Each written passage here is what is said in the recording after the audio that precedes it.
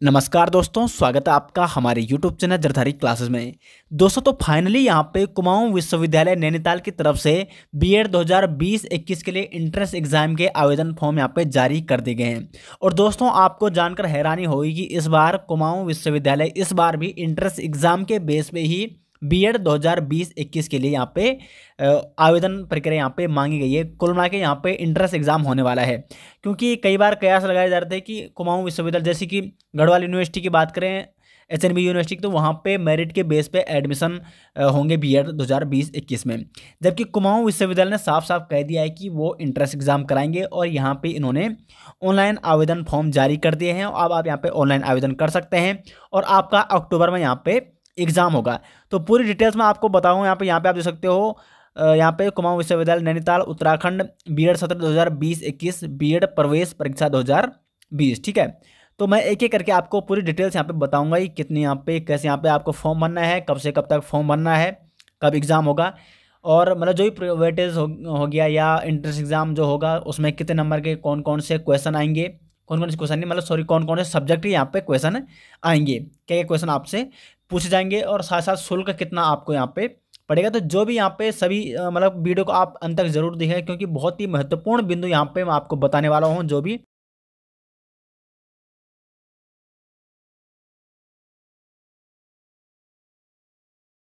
तो आवेदन शुल्क कितना पड़ेगा? बारह सौ प्लस पचास रुपये पोर्टल चार्ज, ठीक है? तो बारह सौ पचास रुपये आपको आवेदन शुल्क यहाँ पे पड़ेगा जब आप कुमाऊं विश्वविद्यालय का बीएड फॉर्म भरोगे।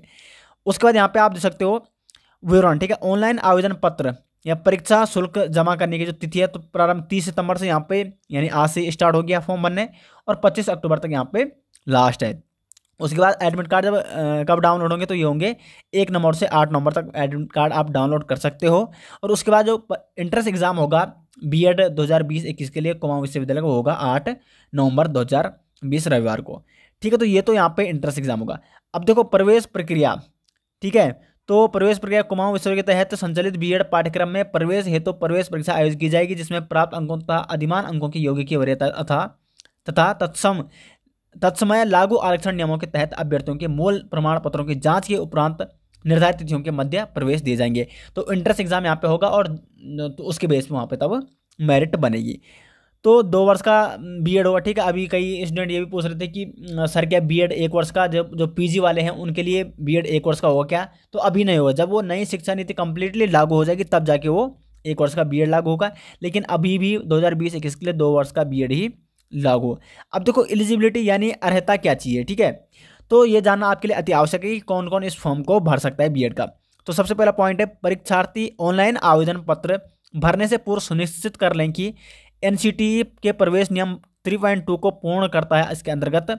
सामान्य श्रेणी के प्रवेश, प्रवेशार्थी को अनिवार्य रूप से न्यूनतम पचास प्रतिशत अंकों के साथ स्नातक अथवा स्नातकोर अब देखो, इसमें एक चीज़ आपको पॉइंट करनी है। कई स्टूडेंट्स को क्या होते हैं? स्नातक में तो कम परसेंट होती है, लेकिन स्नातकोर में ज़्यादा होते हैं। अब इसमें लिखा है साफ़ साफ़ इसने कि स्नातक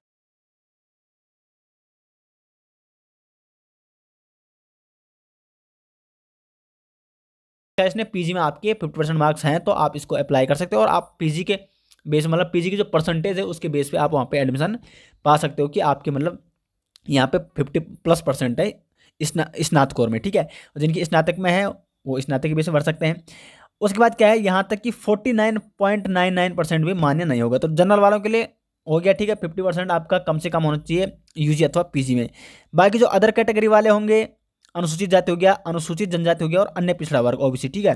उनके लिए फोर्टी फाइव परसेंट मार्क्स चाहिए स्नातकोर अथवा स्नातक में। ठीक है तो फोर्टी फाइव परसेंट मार्क्स हो गया कैटेगरी वालों के लिए और जनरल वालों के लिए हो गया फिफ्टी परसेंट मार्क्स उनके लिए अनिवार्य होना चाहिए। ये चीज़ आपको ध्यान रखनी है। साथ ही साथ जिनका क्या है भी जो अपेयरिंग में है, ठीक है? यानी जो, क्या होंगे यूजी उनका लास्ट सेमेस्टर है अपेयरिंग में माना है, उनका फाइनल सेमेस्टर वाले हैं। ठीक है तो बी एड यू जी होना कम यू जी आपका कंप्लीट होना ही होना चाहिए। तो ये जो अपेयरिंग में यानी जो फाइनल सेमेस्टर है, उनके अभी मार्कशीट नहीं आए तो वो भी इस फॉर्म को भर सकते हैं। अपेयरिंग परीक्षार्थी बी एड में प्रवेश के लिए आवेदन कर सकते हैं, जो फाइनल सेमेस्टर वाले हैं। लेकिन जब बी एड में एडमिशन शुरू होंगे, तब तक उनकी मार्क्स सीट खैर आ जाएगी। वैसे मतलब तब तक तो खैर आई जाएगी मार्कशीट वहाँ पे आपको दिखानी ज़रूरी है कि आप ग्रेजुएशन में पास हो चुके हैं, आपने पास आउट कर दिया है। फिफ्टी परसेंट मार्क्स जनरल वालों के लिए और फोर्टी फाइव परसेंट मार्क्स के साथ अदर कैटेगरी वालों ने, ठीक है? तो अपेयरिंग वाले भी इसको भर सकते जो लास्ट सेमेस्टर वाले हैं यूजी वाले।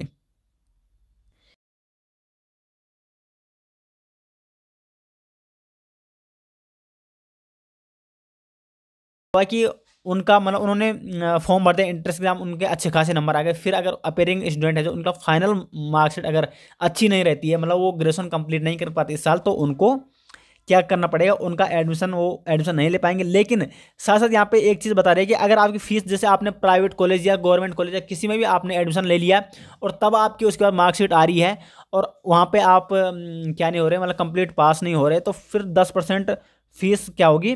वहाँ पे यूनिवर्सिटी में या कॉलेज में जमा होगी और बाकी आपको वापस दी जाएगी यदि आपने फ़ीस वहाँ पे सबमिट कर ली है। एडमिशन में, ठीक है? वैसे तो एडमिशन तभी होगा जब आपकी फाइनल सेमेस्टर की मार्कशीट आ जाएगी। लेकिन यहाँ पे पॉइंट दे रखा है, इसलिए मैं आपको यहाँ पे बता रहा हूँ। बाकी यहाँ पे आप देख सकते हो बी पूर्ण रूप से रेगुलर कोर्स है, ठीक है? तो कम्प्लीटली रेगुलर आपको करना होगा यहाँ पे। अब बात करते हैं कि इंट्रेंस एग्ज़ाम जो होगा, उसमें क्या क्या पूछा जाएगा? कौन कौन सब्जेक्ट के कितने कितने क्वेश्चन आएँगे? तो यहाँ पे देखो, प्रवेश परीक्षा का स्वरूप एवं प्रश्न पत्र। तीन घंटे का ये एग्ज़ाम होगा पूरा, ठीक है? एक ही पाली में होगा। पहले क्या होता? पहले दो पाली में होता तीन घंटे का, एक तीन घंटे का छः घंटे का। लेकिन इस बार क्या है, तीन घंटे का एक ही पाली में होगा। और देखो, भागवन में क्या पूछ जाएगा तो भागवन का जो ए पार्ट है, उसमें होगा लैंग्वेज टेस्ट लैंग्वेज टेस्ट में आपका, जो आपका मीडियम होगा, हिंदी मीडियम से तो हिंदी सेलेक्ट कर सकते हो। और इंग्लिश मीडियम के आप तो आप इंग्लिश सेलेक्ट कर सकते हो। वहाँ पे जब आप फॉर्म भरोगे, आवेदन फॉर्म तो उसमें ऑप्शन आ जाएगा। पैंतालीस मिनट दे जाएँगे आपको इसमें हिंदी के लिए। या मतलब जो लैंग्वेज टेस्ट है, पचास अंकों का ही होगा। पचास प्रश्न आपको करने हैं। उसके बाद क्या है जो बी वाला पोर्सन है भाग वन का, ठीक है? General knowledge and reasoning test होगा। पैंतालीस मिनट दिए जाएँगे, पचास अंकों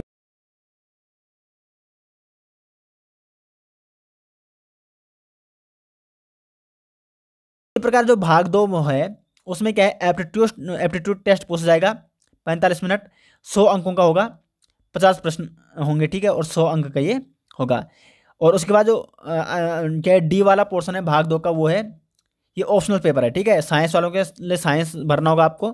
कॉमर्स वालों के लिए कॉमर्स मतलब जो क्या है आर्ट्स स्ट्रीम वाले हैं, ठीक है? उनके लिए आर्ट्स स्ट्रीम यहाँ पे आएगा। यहाँ पे आप देख सकते हो जो डी वाला ऑप्शन है वैकल्पिक सब्जेक्ट है। साइंस वालों के लिए साइंस होगा। कला वर्ग के लिए कला वर्ग और वाणिज्य यानी कॉमर्स के लिए कॉमर्स इसमें भी सौ अंक होंगे, पचास प्रश्न यहाँ पे होंगे। तो देखो, सौ सौ दो सौ अंकों का ये हो रहा है और सौ अंकों का फ़र्स्ट वाला हो रहा है। इस कुल मिला के टोटल तीन सौ अंकों का हो रहा है। अब देखो, सामान्य वर्ग के लिए जो भाग वन है, उसमें सौ में से चालीस अंक कम से कम उन्हें लाने होंगे, जबकि दो सौ में से यहाँ पे अस्सी अंक कम से कम उन्हें लाने होंगे। तब आप वहाँ पे क्या होंगे इंट्रेंस एग्ज़ाम में आप पास माने जाओगे। और जब आप इंट्रेंस एग्ज़ाम में पास माने जाओगे, तभी आप किसी भी, जो इसके अंदर कोई प्राइवेट यूनिवर्सिटी आती होगी, उससे आप बी कर सकते हो।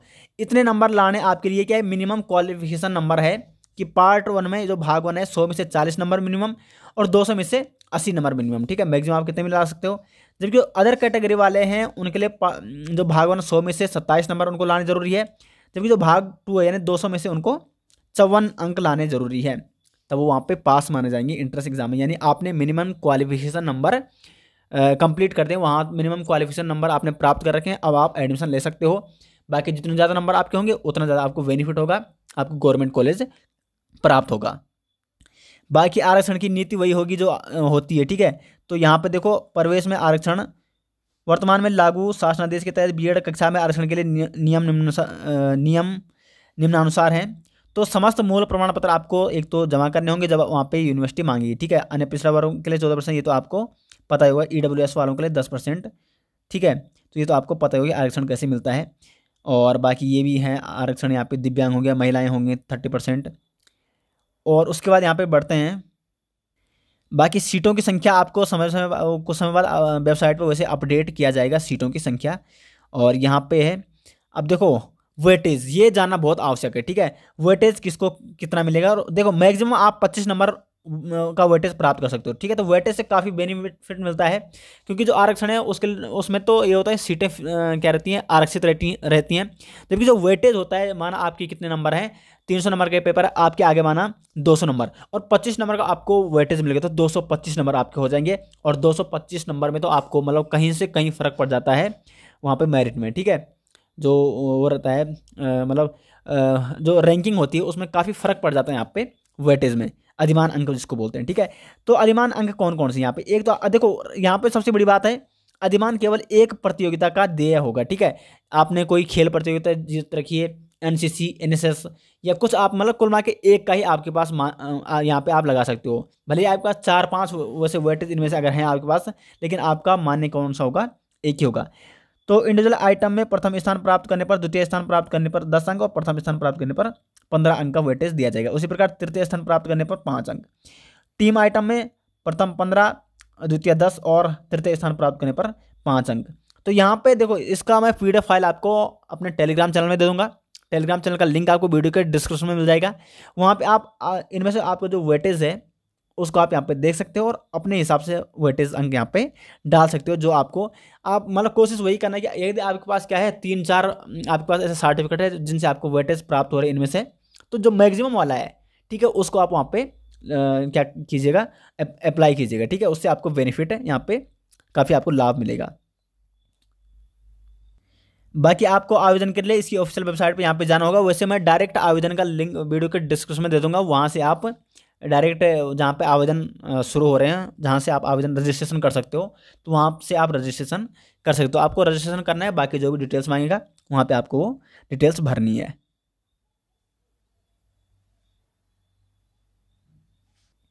अब देखो, परीक्षा केंद्र की बात करें तो इन परीक्षा केंद्रों में आप यहाँ पे क्या डाल सकते हो?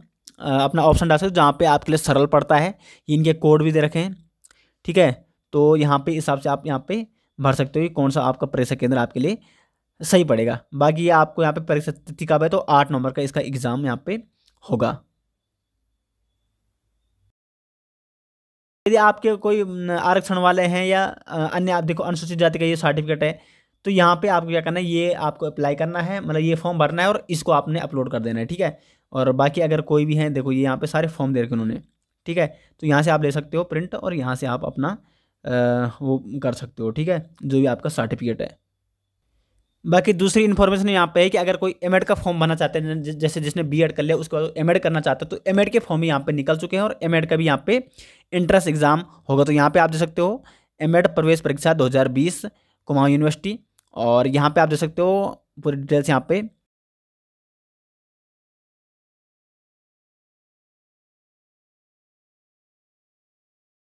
तीस सितंबर से पच्चीस अक्टूबर, एक नंबर से आठ आठ नंबर तक आप क्या निकाल सकते हो?